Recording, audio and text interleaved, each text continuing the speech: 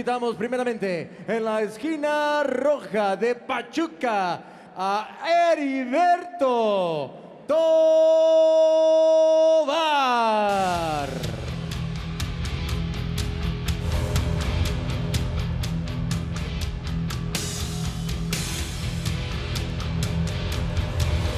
Presentamos en la esquina contraria del Distrito Federal a Diego Alamán.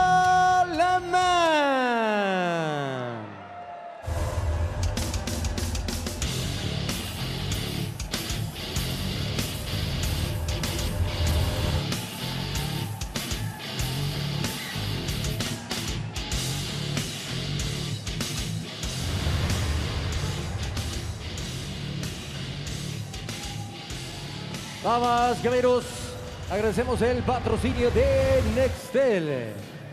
Extreme Fighters Latino presenta sanciones evento del Consejo Latinoamericano MMA CLAM como comisionado Gerardo Arrechea, supervisor Arturo Muñoz, jueces Eric Schumann, Eric Chimello, Eric Omar Montaño, juez auxiliar Mónica Laris. El tercero en la superficie, el referee Mauricio Jarlgowski. Damas y caballeros, Nexal Extreme Fighters Latino presenta a continuación pelea estelar por el campeonato XLF en la categoría de los pesados. Pelearán cinco rounds. Presentamos primeramente en la esquina roja con 90 kilogramos, con un historial de nueve peleas ganadas, dos perdidas. Él es originario de Pachuca Hidalgo. Con ustedes, Heriberto Tobar, el rudo Tobar. Presentamos en la esquina contraria con 90 kilos 500 gramos con un historial de tres peleas ganadas, una perdida del Distrito Federal. La presencia de Diego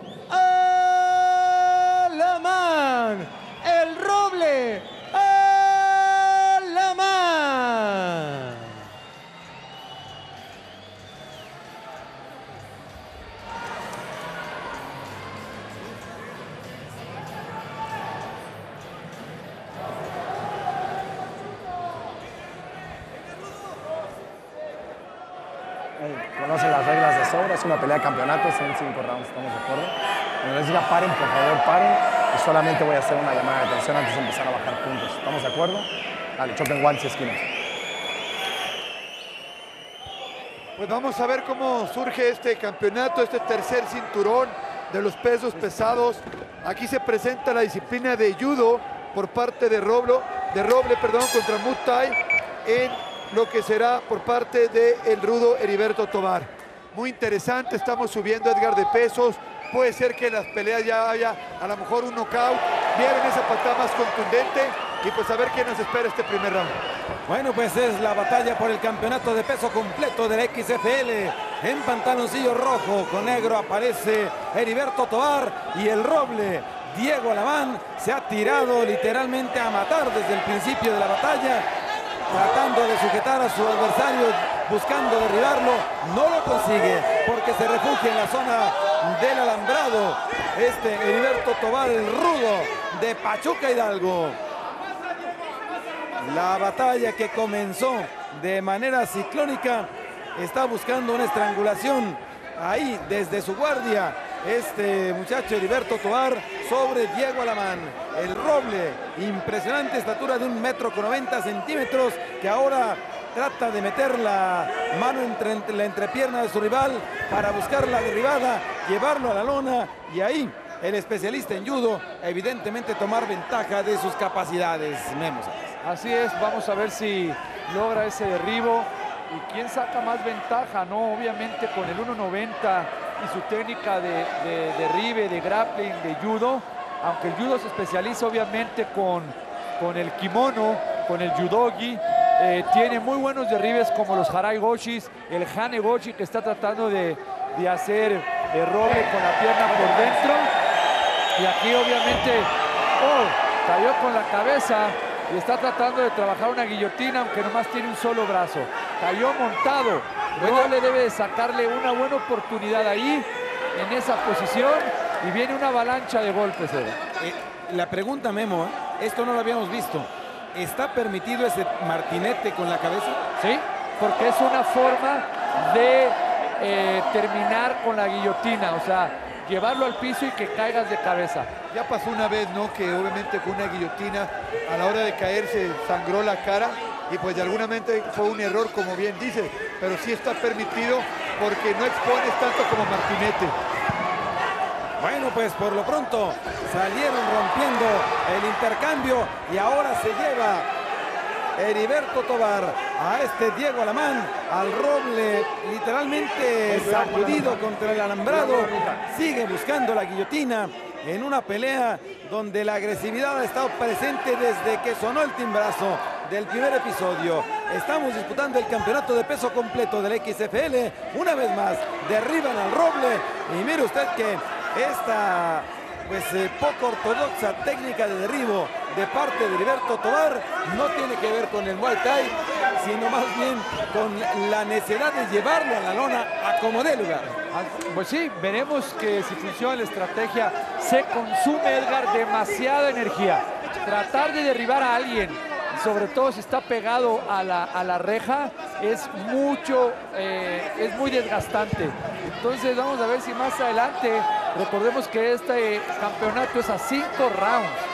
Entonces puede ser un factor si Diego Alamán no administra bien su energía o su estrategia. Por su parte, Heriberto simplemente está absorbiendo ese esfuerzo del roble.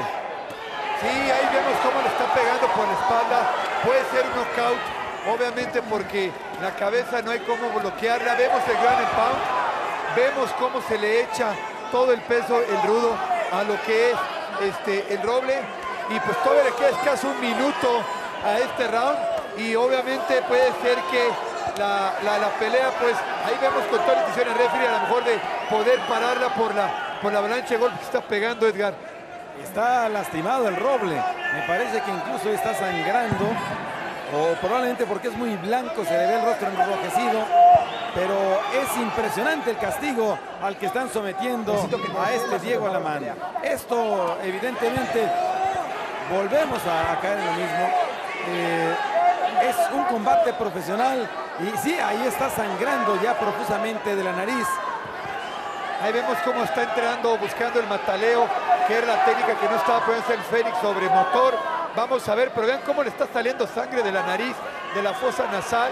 Puede ser totalmente eh, la oportunidad para que entre ahí el show, se quede dormido o el referee determine parar la pelea, aunque el tiempo se va a acabar, mi estimado. Está muy atento Mauricio Jaworski sobre lo que está pasando ahí en el cuadrilátero y llega el timbrazo en auxilio del Roble cuando estaba siendo sacudido y castigado violentamente. Y entró ese último golpe. Veamos, un, un, minuto antes, segundo, esa buena patada contundente. Está, está tocado. Vemos al Roble desorientado. La esquina, ahí van los, los médicos. Vamos en la repetición. En la repetición vamos a ver cómo todo ese desgaste puede estar hasta deshidratado. Me pudiera atrever a decir por ese esfuerzo y consumo de, de energía. Ahí ven, ahí vemos, ahí vemos cómo ya estaba eh, desorientado. Vamos a ver qué es lo que dice la esquina del Roble. Pero ¿qué opinas, Úrsula? Estábamos viendo que estabas un poquito impresionada de ver cómo le conectaban al Roble. Estuvo fuerte.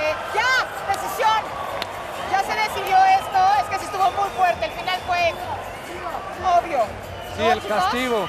El castigo fue O impresionante. sea, tu, tu cara de, de impresión refleja que hayan parado la, la pelea, pero muy bien decidida. Vimos a un Roble que iba, eh, Edgar, desorientado a la esquina, simplemente iba tambaleando quizás. Señoras y señores, su atención, por favor.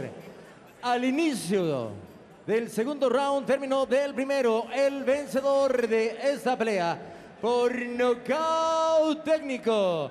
Y el aplauso es para el campeón de Pachuca, Heriberto Tobar, el rudo Tobar. campeón en la división de los pesados. Agradecemos